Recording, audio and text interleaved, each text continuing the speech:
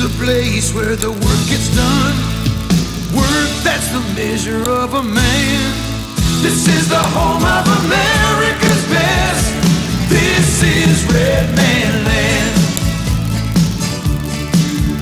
It's a place where strength is forged in molten steel and the spirit of pride